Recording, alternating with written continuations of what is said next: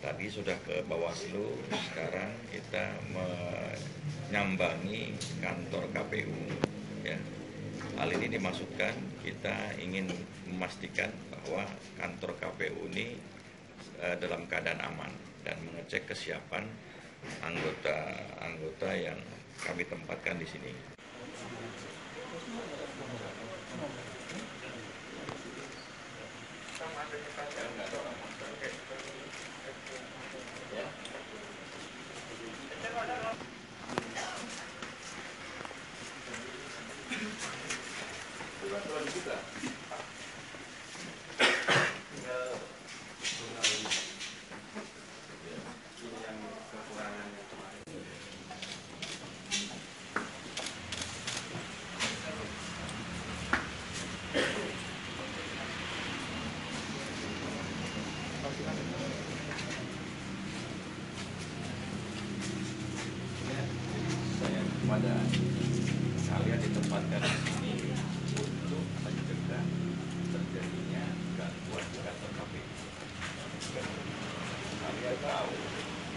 banyak barang-barang berharga